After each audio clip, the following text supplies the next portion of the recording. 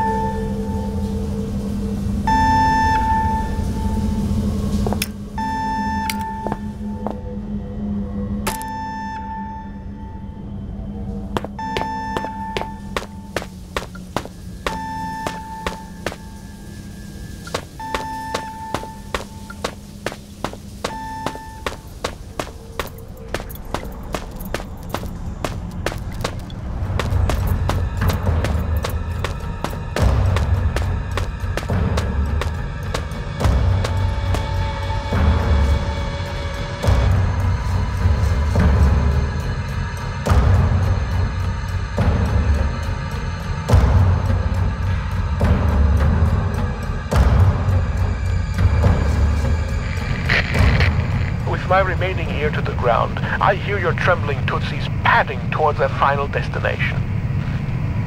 Things come to those that wait, whether they want them or not, and soon I think your wait will be over. The great metal door in reality is calling you, just as the Reaper beckons me forward. I look forward to finally greeting you. I only hope I need not greet the Reaper Man first.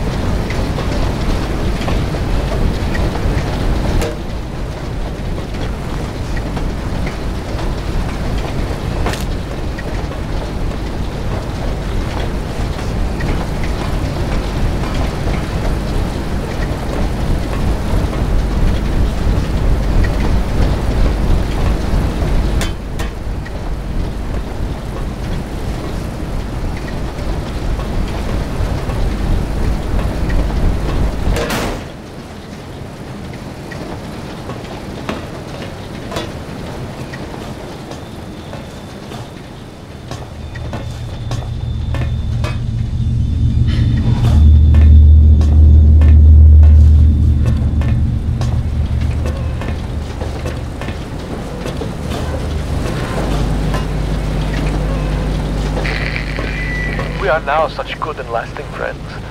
I have gifted you with my love. Perhaps you could gift me with something. After all, the laws of politeness would be shattered if you were to appear at my party without a gift. Poor Red is so hungry. He could eat both the horse and the young rippling stable hand. Sadly, pony flesh is so hard to come by in this part, and man meat is so... is so bland.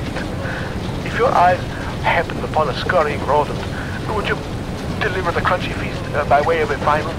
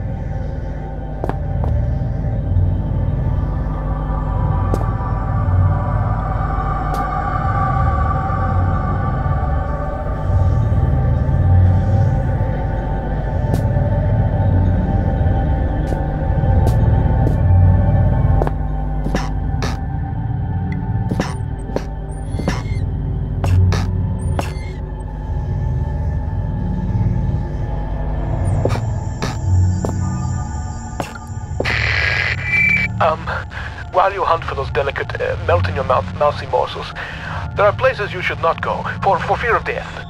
The Reaper lives here, just like you and I. And just like you and I, he must ingest the living flesh of those less fortunate. There is a small place that I do not want you to visit, even on your holidays, because it is dark and evil place that I've been. When the darkness has overwhelmed my small decaying mind, some bad things flowed from my mind and through my pen. The brilliant blue ink itself seemed to turn to blood into my grasp. And by the way, should you turn peckish, red is at its finest sautéed with a little engine oil.